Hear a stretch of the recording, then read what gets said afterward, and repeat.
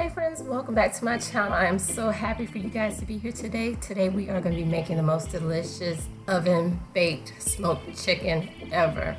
This is so simple, so creative, and at the same time it's budget friendly of course. So let's get into the ingredients. So for this meal, you're gonna need some Creole seasoning, complete seasoning, paprika, onion powder, garlic powder, cream of mushroom, cream of chicken, chicken bouillon, oil, seasoning salt of your choice, and some black pepper.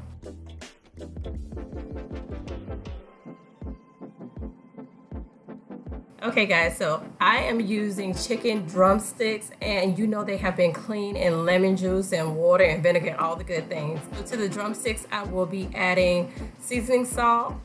And then of course my complete seasoning. If you don't have some, you need to get you some. And then I have some garlic powder. You can add as much or as little as you like. I like a lot.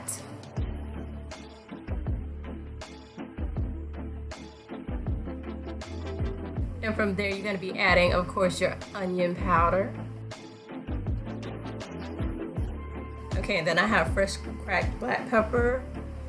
I like mine to be just a little spicy. So of course, I have some bold Cajun seasoning.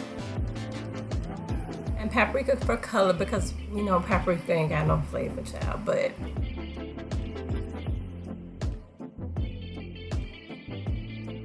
Then I have some oil and I'm using the oil because I want everything to marinate and to mix oh so well and I want to keep my chicken nice and juicy and I'm going to be marinating this in the refrigerator for a couple of hours so that oil just helps everything to get all incorporated and delicious. So here, yes, I'm mixing my chicken with my hands because guess what? My hands are clean. This is my family. And as a matter of fact, you will notice that my hands are dry most times because guess what? I keep them clean. So yes, you're just gonna mix around that chicken. You're gonna get every piece of chicken nice and coated, nice and greased up, nice and flavorful. And like I said, I'm gonna put this in the refrigerator for a couple of hours. And then from there, I have my cast iron skillet. And I'm gonna put all this chicken inside there. Yes, I'm gonna crowd the pan because guess what? I'm not cooking the chicken. I'm just browning the chicken. And the cast iron gets really hot and it browns it really quickly. So it doesn't matter how much chicken you put inside it because it's all gonna be brown at the end of the day. So you know browning is flavor. I'm not cooking this right now. It's gonna go in the oven a little later, but I need some color on here.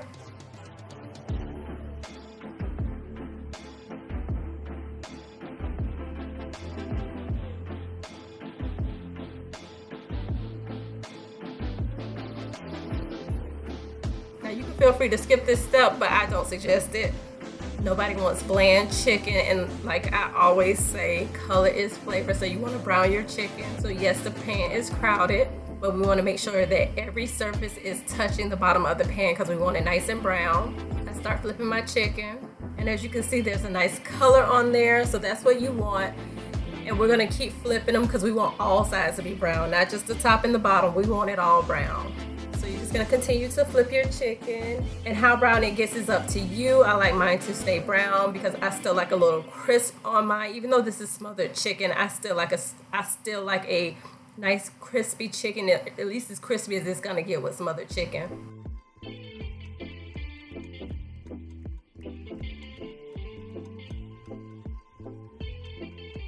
So you see my chicken don't like to cooperate, but that's all right because you're gonna get brown too. So yes, just make sure that everything is touching the bottom of the pan. And like I said, I like to use the cast iron to brown the chicken because it doesn't necessarily cook it, it just gets it brown really quick. I think this whole process may have taken me maybe 10, 15 minutes and that's just to brown it. And this is a quick, quick meal because the hardest part of this meal and the longest part of this meal is just the browning process. The seasoning took no time. You put it in the refrigerator, go back to what you're doing. You come back, you brown your chicken. Then we're gonna put it in the oven. So here you can see I'm just taking out the pieces that are brown to my liking and I'm just flipping the other pieces. And um, yeah, the oil won't let me be great. So you do have to be careful because the oil does tend to pop up because we are frying this on a high heat. So you want to be careful if you have one of those splatter guard things then feel free to use it. I don't have one because I have never figured out how to use it because I still get burnt. That's all right because guess what? We're making chicken. and what's chicken without a little bit of splatter? But I do want to figure out how to use it because my stove, as you can see, whew, it takes a toll on my stove and I hate having to clean it after this process, but that's all right. We're gonna make it do what it do.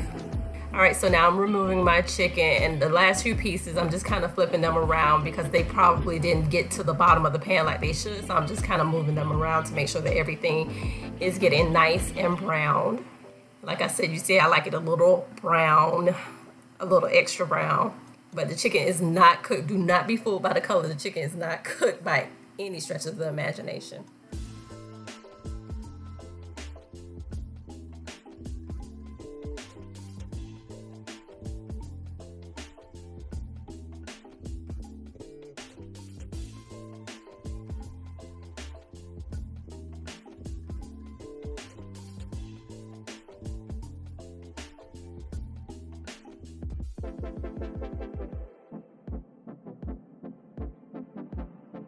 Okay, so once I've removed all my chicken, I am going to head over to my baking dish.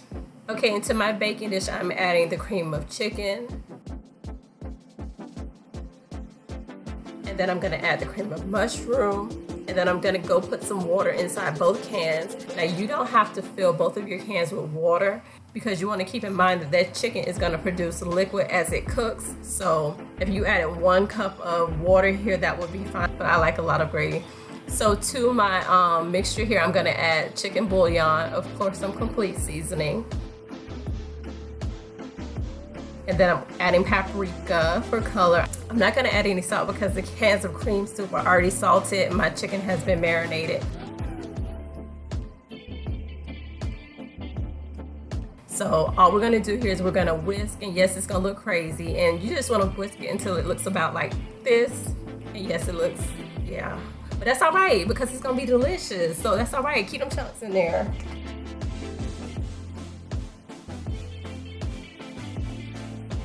So once you have everything incorporated, I added a couple onions. This is what I had. Now you can add bell peppers. You can add whatever you like. You can add more onions. This is about enough onions for my family. And then to this mixture, you want to go ahead and add your chicken. And like I said, we will be putting it all in there because we doing one shot. We don't have time to come back and put two dishes. Listen, who is washing all these dishes? Nobody. So guess what? We're gonna put it all inside here. So you just want to go ahead and layer your chicken however it can fit. And like I said, if you want less gravy, you can add less water, but I like my gravy. I like a lot of gravy, so that's why I did what I did.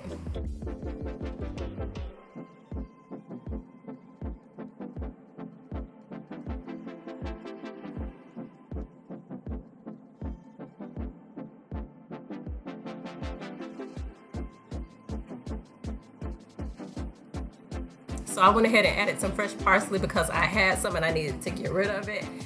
And why not? Look how pretty it is. I mean, like, for real? Yeah, we're gonna make it all fancy. Okay, so I have some aluminum foil here and I am going to spray my aluminum foil with some cooking spray because I do not want anything to stick. You don't have to do this, but this is what I do. So I'm just gonna cover my pan and then from there I'm gonna place this in the oven for 30 minutes at 400 degrees because you're gonna come back and you're gonna broil it. You don't want your chicken to be dry, but you do want it to be cooked. Now, if you're using different portions of chicken, it may take a little bit longer. You want to check and make sure. So once your chicken comes out, it looks just like this. And yes, you can eat it just like this and be good to go. But I like my chicken to be a little crispier. But yes, look at how delicious that looks. Look at that gravy. Look at the onions. Oh, so good. So from here, I'm gonna go ahead and put it back in my broiler on the highest setting for about five minutes and it comes out looking just like this. Yes, look how pretty it is. You can still eat it just like this, but you know, I gotta be extra. So I'm gonna flip my chicken and I'm gonna put it back in the broiler for another five to 10 minutes. It just depends on your oven. My oven is really fast, so it only takes five minutes at the highest setting. So you just wanna make sure you flip all the chicken. And at the same time, when you're putting it in the broiler, the water is gonna start to evaporate. So you're gonna have a thicker gravy. So you wanna keep that in mind. So yes, I'm just flipping my chicken and it's gonna go right back in the broiler. All right, and here we have it, some delicious baked smothered chicken chicken in the oven. Took no time at all. So simple and easy. This is how I plated it over a bed of rice. Look how delicious and brown that chicken is. So again, friends, I thank you so much for coming back to my channel and I hope to see you again in the next video. Be sure to comment, share, subscribe, and all the good things. And until the next time, bye.